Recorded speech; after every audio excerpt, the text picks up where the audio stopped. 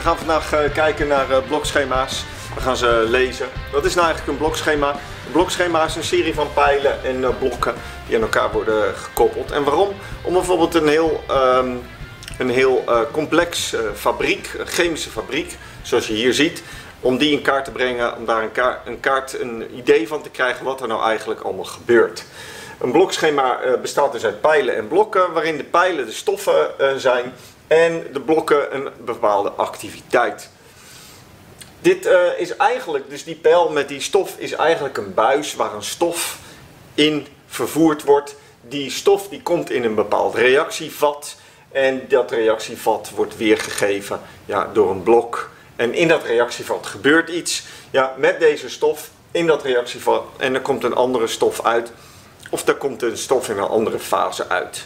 Nou, zo kan je dus redelijk complexe uh, fabrieken, processen, ja, die allerlei verschillende uh, reacties bij elkaar zijn opgeteld, of wat er allemaal gebeurt, ja, kan je samenvatten en overzichtelijk maken in zo'n blokschema. Nou, hieronder bijvoorbeeld heb ik een blokschema van koffiezetten gemaakt. Ja, wat hebben we daarvoor nodig?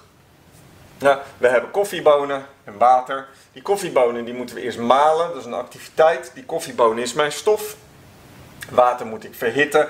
Ja, en dan krijg ik heet water. Dus na mijn malen van mijn koffiebonen heb ik gemalen koffiebonen. Ja, dus een andere stof, een andere fase, een andere verdelingsgraad, whatever. Ja, maar er gebeurt iets met mijn stof. Dan giet ik het water over mijn koffiebonen ja, in een reactievat. Daar krijg ik twee dingen uit. Het ene waar het natuurlijk allemaal om te doen is, mijn koffie. En het andere is mijn afval, is het koffiedik.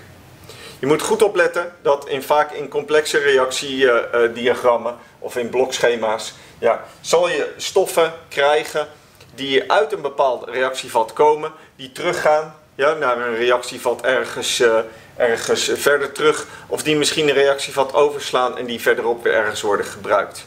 Dus het is vaak de kunst om uh, een verhaaltje, dat moeten we vaak kunnen, moeten uit een verhaaltje moeten we een, uh, een blokschema maken en daar is het dus vaak de kunst dat we dat eruit halen. Dus goed onthouden, ja, een reactievat is een blok en daar gebeurt een activiteit en daar komen stoffen in en er komen stoffen uit. Ja, dat is, uh, dat is de clue hier. Goed opletten met, uh, met recyclede, uh, recyclede stoffen. Ja, en gewoon oefenen met bijvoorbeeld een appeltaart. Pak het recept voor een appeltaart ja, en maak daar een blokschema van. Heel veel succes!